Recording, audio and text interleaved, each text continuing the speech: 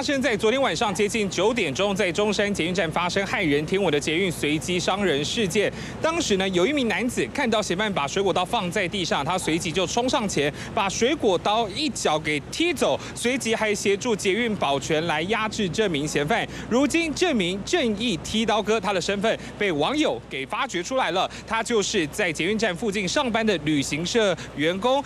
叫做刘俊德，而其实呢，今天这名剃刀哥他是非常的低调，因为事发当时，同事问他，他也不承认说，哎，这个人可能只是跟我长得很像。但是呢，之后随着这个画面逐渐曝光之后，我呃这名男子呢，这个刘俊德他才坦诚说，对啦，那个是我啦。但是呢，他只是协助协助把这个刀子踢掉，协助压制。随着警方呢到场之后呢，他就默默离开了。不过呢，随着这个事件，同事之间口耳相传传开，还特别帮他建立了一个粉丝团。我们先来听。听一下副总公司旅行社副总的这一说法。在早上呢，获得到这样的消息，啊，加以求证之后呢，公司内部呢也请发了一个全公司的内部的一个奖励的一个措施，希望大家呢发挥职业的本能啊。